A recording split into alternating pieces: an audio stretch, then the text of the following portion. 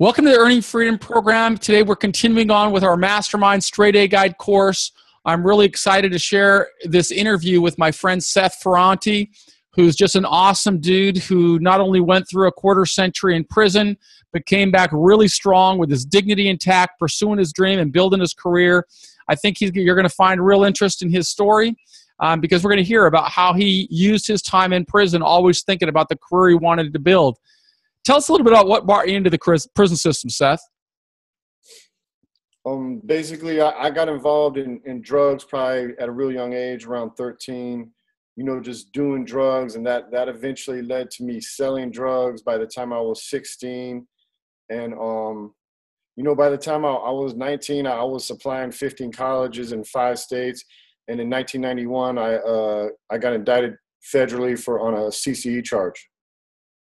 CCE charge. And what were you facing on that charge? I was facing 20 to life. And you ended up getting what? Did you go to trial or did you plead guilty? Actually, I, I pled guilty and then I took off and I was a fugitive for two years. And when I got caught, I got sentenced to 304 months. So, how old were you when you got caught, when you actually got taken into custody? Uh, I was 22 years old. And because you had that record of escape or being a fugitive, they put you in a, in a uh, high security prison as a young man with about a quarter century to serve. Tell us a little bit about your mindset when you first went into the prison.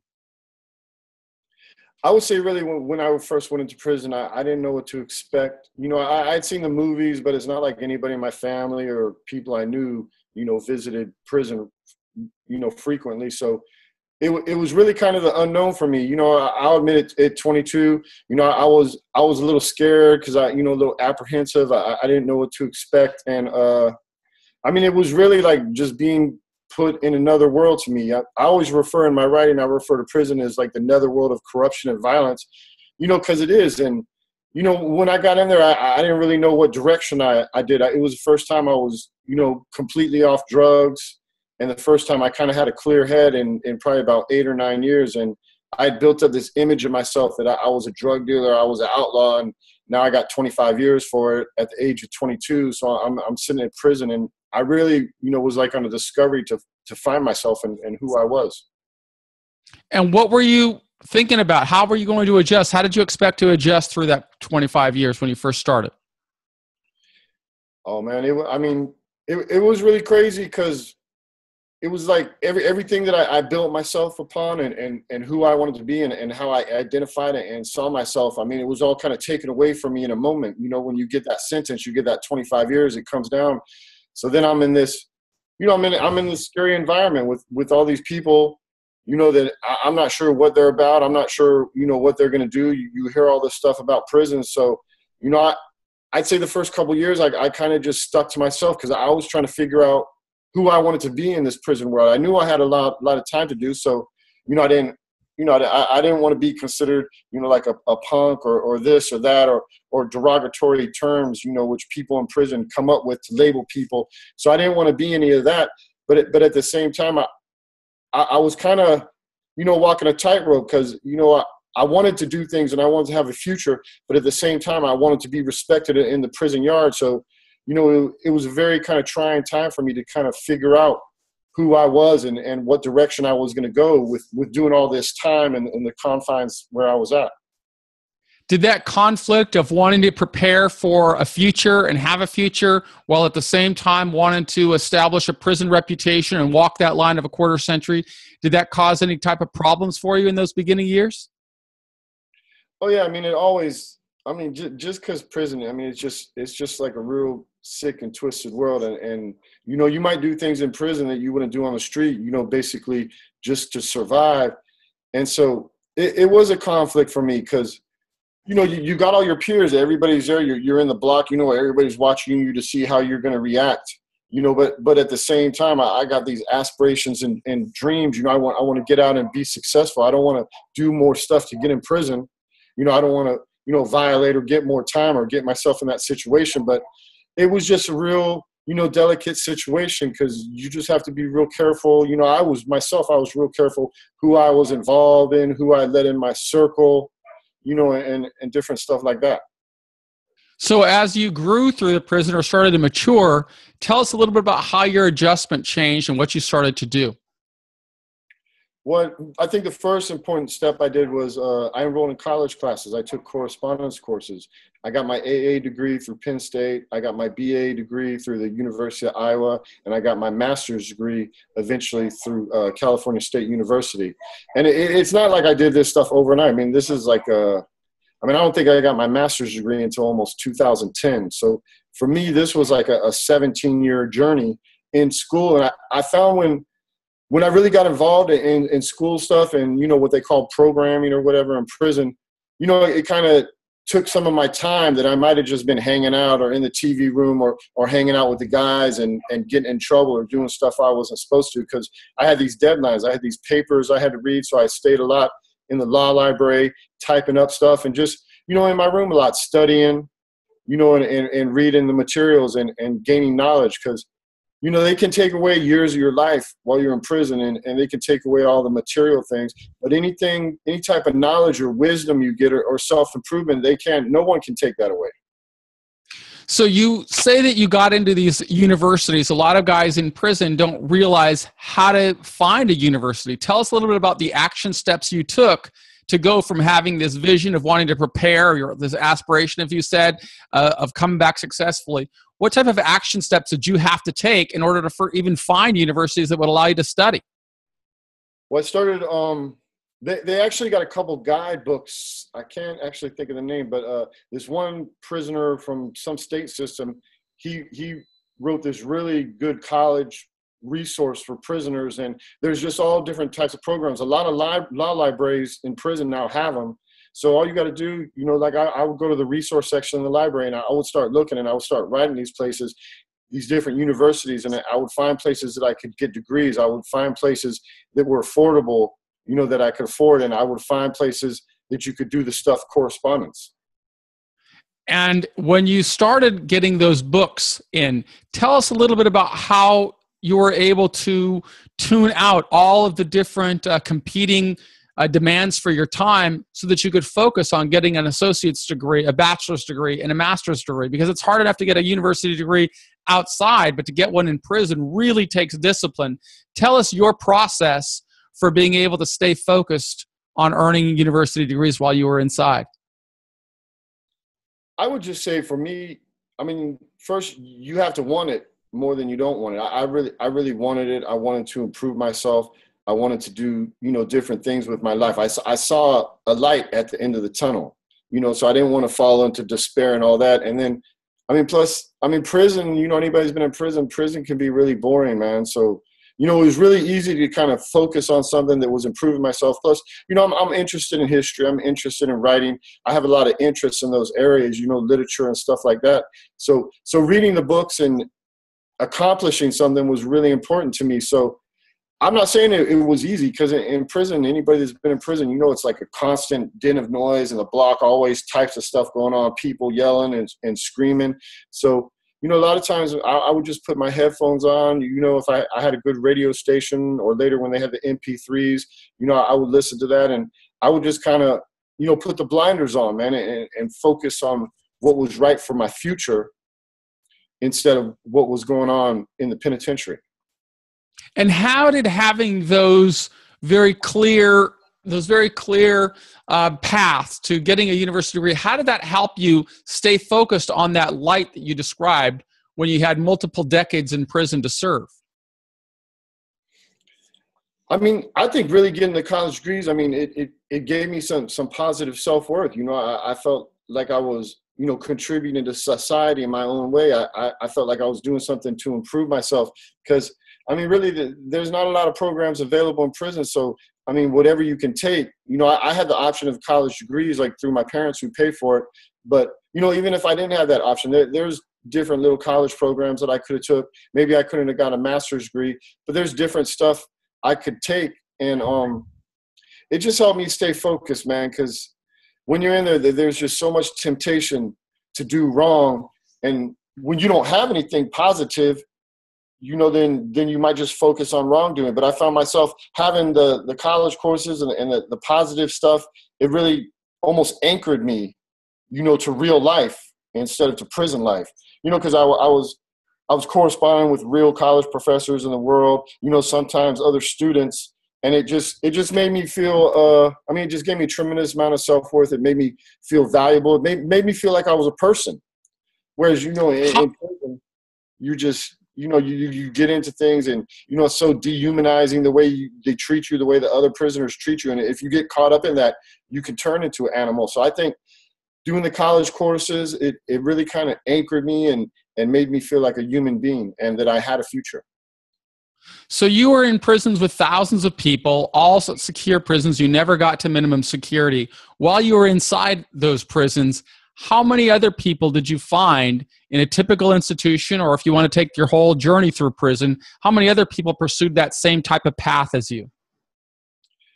I mean i would see some people that you know were taking college courses that they offered and, and some people getting certificates or you know little year degrees or even aas but i mean it wasn't a lot of people. Even uh, i took the college classes when i first got to fci manchester in, in 93 and a lot of times, this was when they still had the Pell Grants way back when. And a lot of times it would start out, there would be like 20 or 25 guys in the class. But by the end of the semester, there might only be, you know, five, six, seven, eight.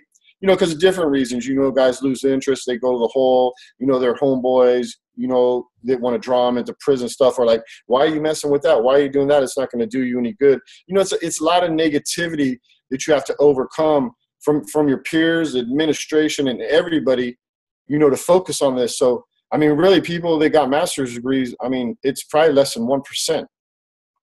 Well, the reason that I ask you that is because I know how hard it is and I know how difficult it is to stay focused on that. But what I, I ask you that question just to point out hey, it's very few people who pursue this path.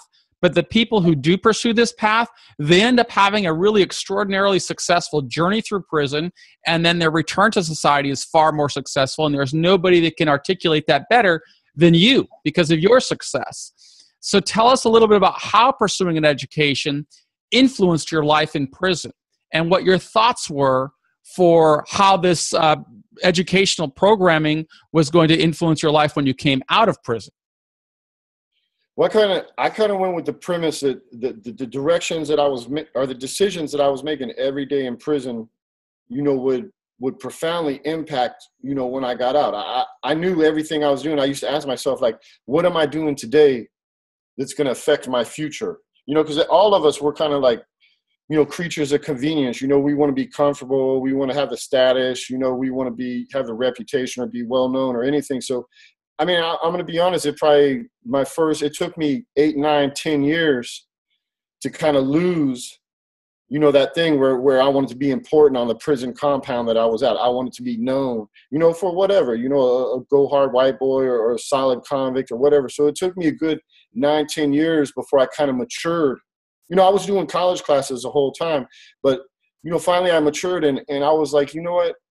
What is important it's not important what people think of me in here. It's not important what you know these relationships i have even though you know some might be good relationships but the ones the good people that you meet you know they're going to accept you for who you are you know they're not going to care about you know if you're this tough guy or if you're this or that like a lot of the stuff that's important in prison you know they're they're they're, they're going to care about you know what are you going to do for your future especially if you're getting out? I mean you got so many do, guys doing life i mean they're fighting their case to get out but when, when you do have a date man i just think it's it's tremendously important to, to prepare you for your future and do something every day you know, that's going to count for the future. Because if you don't, if you don't give yourself the tools, you know, and the different assets or, or whatever you need, when you get out, you're going to go right back to the same thing and you're going to end right back in prison.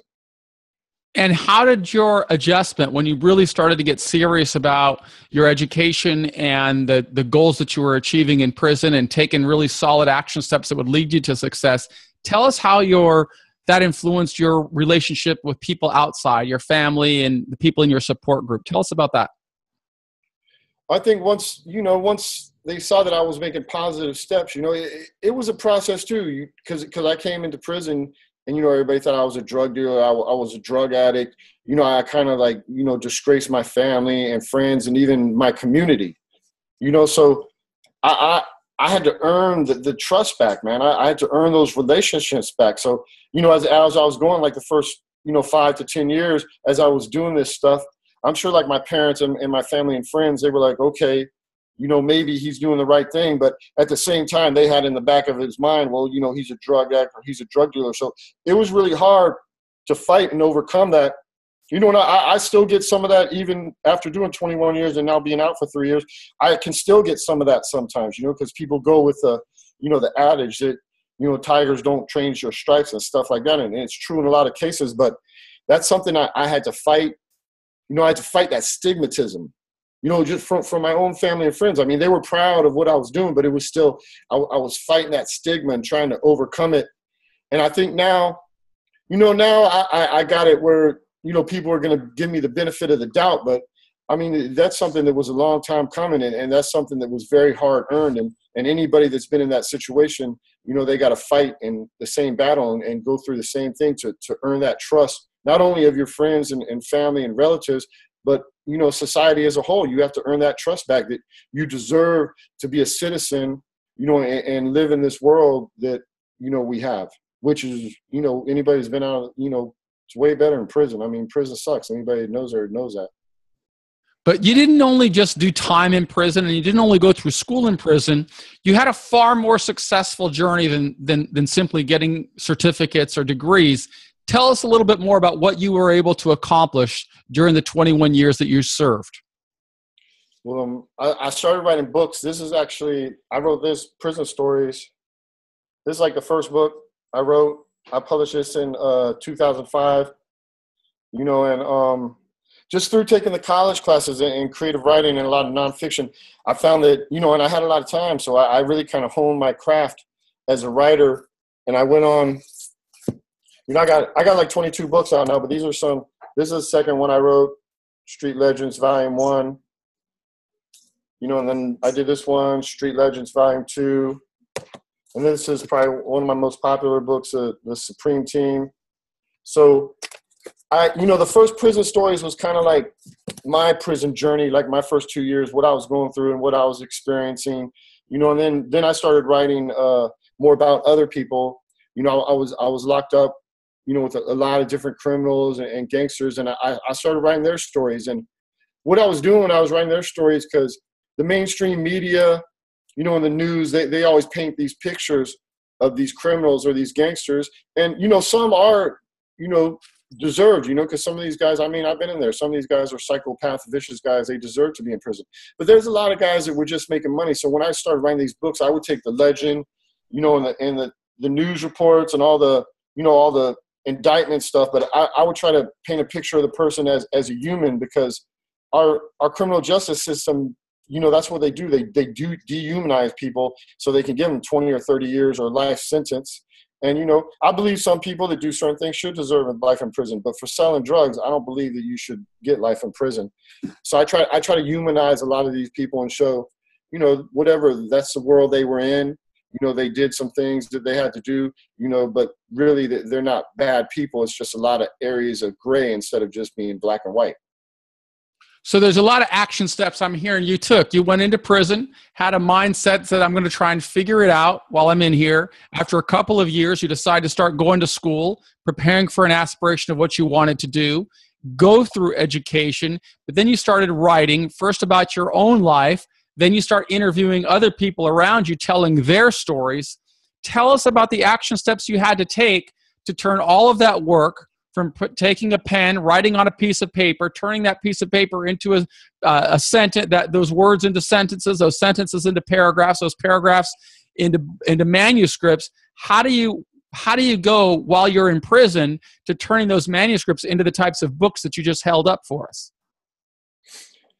Well, the first thing I did was, you know, I always tell people this all the time. The first thing you need to do, you just need to write. I mean, if you want to write a book, you got to come up with a plan and you just have to write it. I mean, the first draft you write might not be any good, but at least you got something, you got something down. And then, you know, once I started, you know, crafting my manuscript, like, like even it, it's like anything. I mean, I was lucky in the regard that I was taking the college classes and they were kind of, you know, teaching me how to write and edit my own stuff. So I kind of took what I learned there and I applied it to my first book, Prison Stories.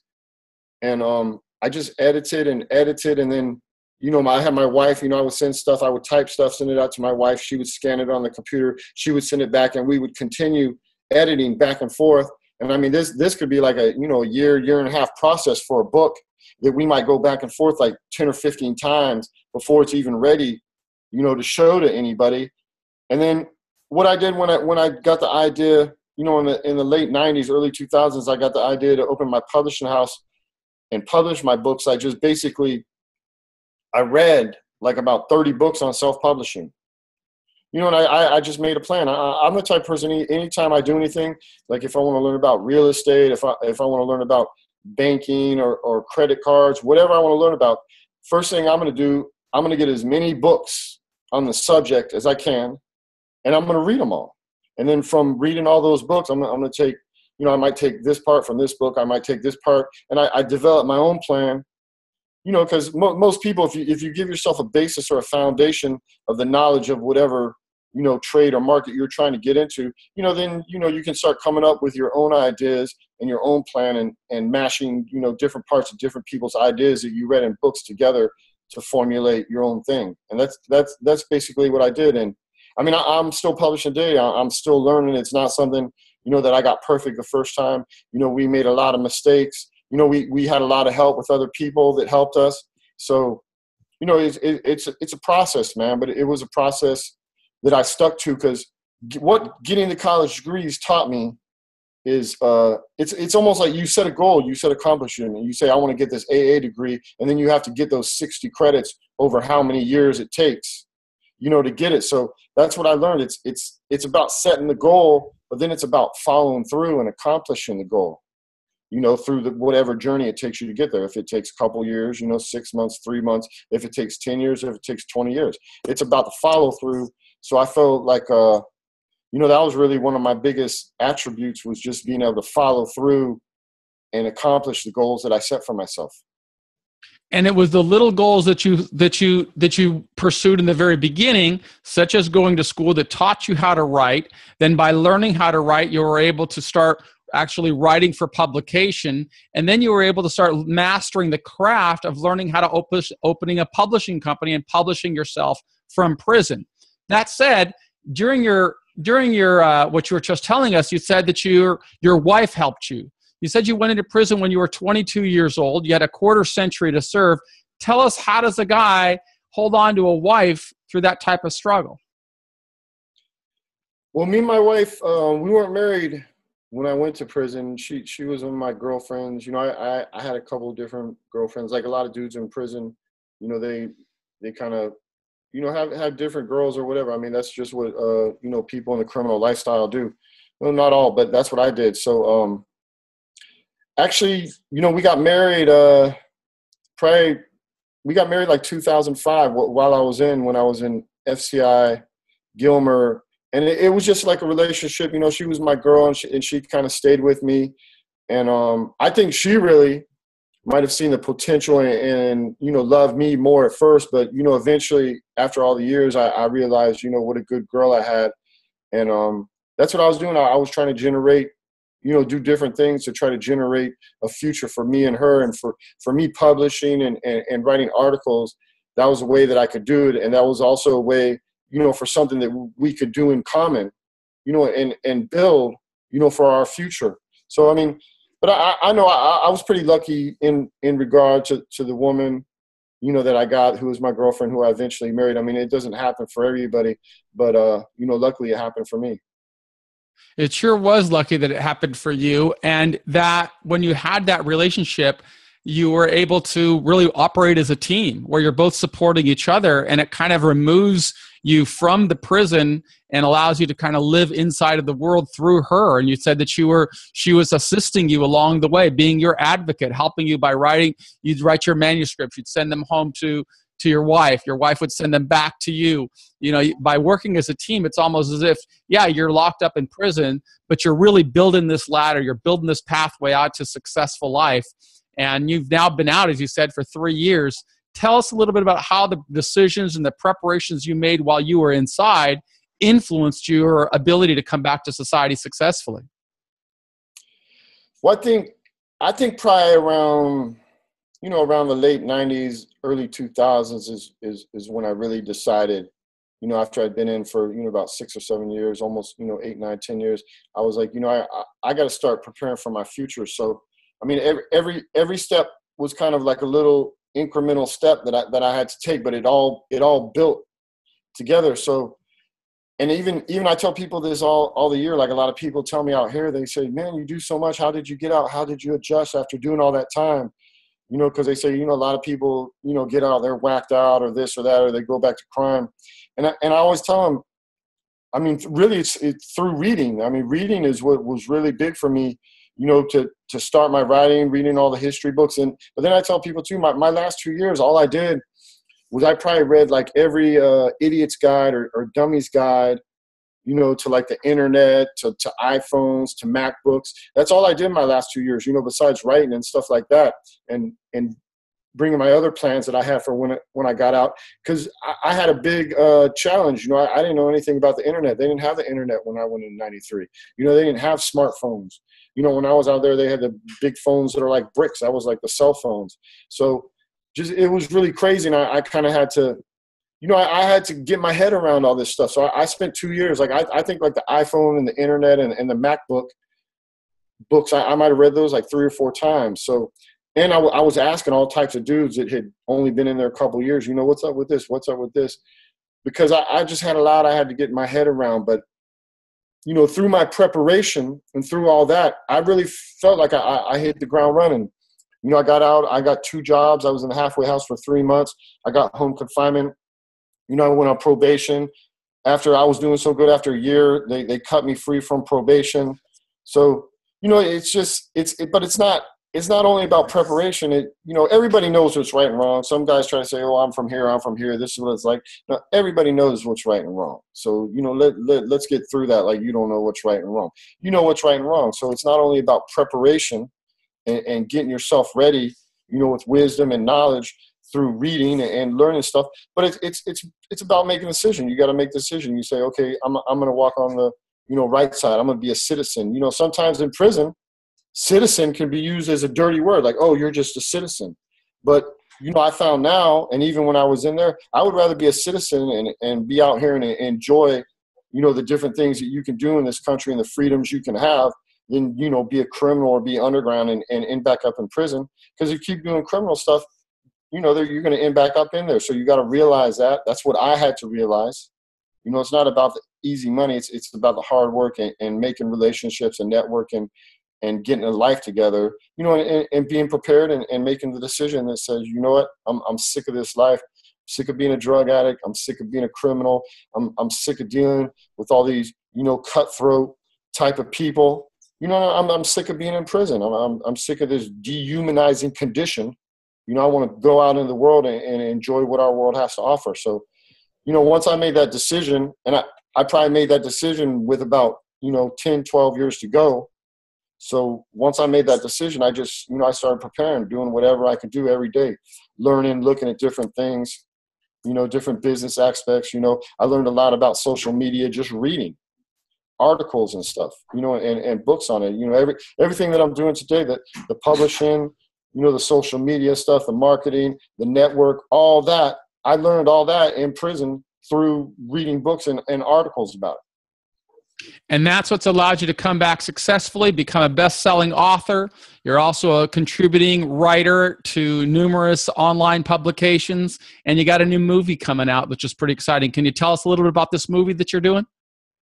Yeah, um, I've been for about two years since I've been out. I, have been working on this movie. It, it's called White Boy.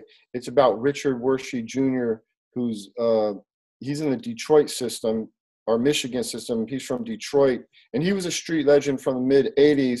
But basically, he's been in prison 29 years now for eight kilos of cocaine, and um, you know, I'm not going to say he kind of complicated matters because when he was in, uh, he cooperated with the FBI on a police corruption probe in Detroit, and that's really why he's in because some of the people, you know, that he was he helped get convicted in that police corruption probe, you know, like their uh, proteges or whatever are still in government in Detroit and Michigan and, and Wayne County, and they've been trying to keep him in. So this film we've been working on is you know the number one goal to get him out, but also to expose this this justice because it's almost the, the, the, drug war, man. There's so many dirty little secrets of the drug war, and now as time goes on, a lot of them are coming out. You know, because it, it's really inhumane. I mean, like I say, some people. I mean, if, if you murder people and chop people up and molest little kids and stuff like that, maybe you deserve to go to prison for life if that's what the laws call for. But right now, I mean, most of the prisons, over 50% of the prisons, is is nonviolent drug dealers like this guy Richard Wershe, who we're trying to get out, and they just bury him in there, and it becomes more of an industry in, instead of justice. And so, through this film and through his story, you know, we're we're kind of showing all this just on you know just in in Detroit, but the same thing that's happening in Detroit is is happening all over. And this this movie is actually is premiering at a film festival in Detroit uh, at the end of March, and then it'll um, be going on like a major mainstream streaming network, something like a Showtime, HBO, Netflix, you know, Amazon or Hulu. Well, I want to I, I want to thank you for spending the time with us today, Seth. I know that a lot of guys who are watching this inside of uh, segregated housing units or secure prisons or or schools, they really need to get inspiring stories from people like you, people who have had an aspiration of preparing themselves for success even while going through struggle, and then people who took the incremental action steps that allowed them to get from being a 22 year old just starting in prison to becoming an accomplished best selling author, movie producer, contributing member of society, husband, son. I mean, you're really the American success story. And I really want to thank, and you started inside of a federal prison with a quarter century to serve, but that never got you down. And that's why I wanted to share your story. Thanks so much for spending time with us. All right. Thank you. And, uh, I mean, just for everybody doesn't know, the man, Michael Santos, I was with him when we were doing time and, and it was right around the uh, time when I kind of made the jump. I was I was kind of leaning in the right direction, but he kind of really, you know, showed me the way and helped me. So uh, I mean, he he can help anybody. You know, he helped me when I was in there. He can help anybody that's watching this. So. Oh, thanks so much, Seth. I'm so glad to consider you a friend and so proud to share your story with other people in prison. Together, we're going to help more guys come out successfully like you. Thanks so much. Thank you.